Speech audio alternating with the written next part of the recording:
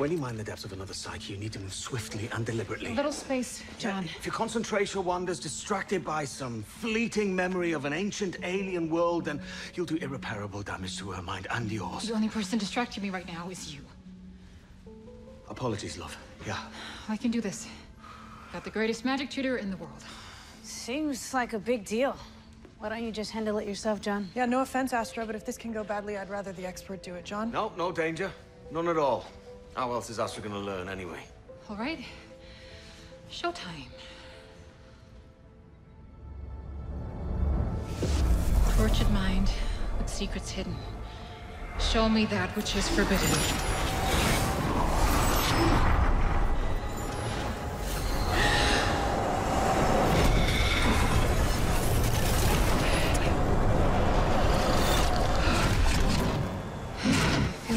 A real Amelia Earhart memory.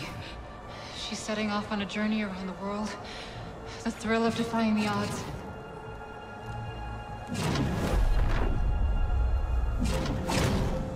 I, I'm, I'm confused. It's an alien, ain't it? Well, then shouldn't its memory be about its home planet? And the clouds just perfectly free. Then, a bright light. Unconsciousness. On an operating table against her will. They're experimenting. Altering her. She's escaped. She's ostracized. She doesn't know. She's alone. Intensely alone. She does what she can to survive. Where's Sara? Astra, we need to know if she's seen her. Oh, listen, this creature, Amelia, she's exhausted, and we should end this right now. John, we need to know. She has a visitor. Sara Lance.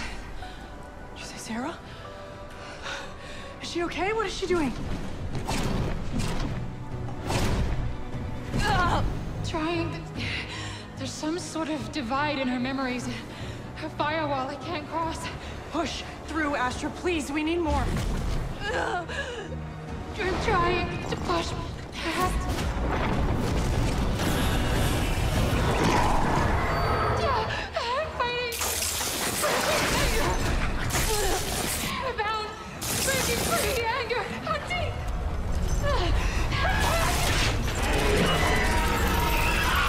Sever the link, sever the link.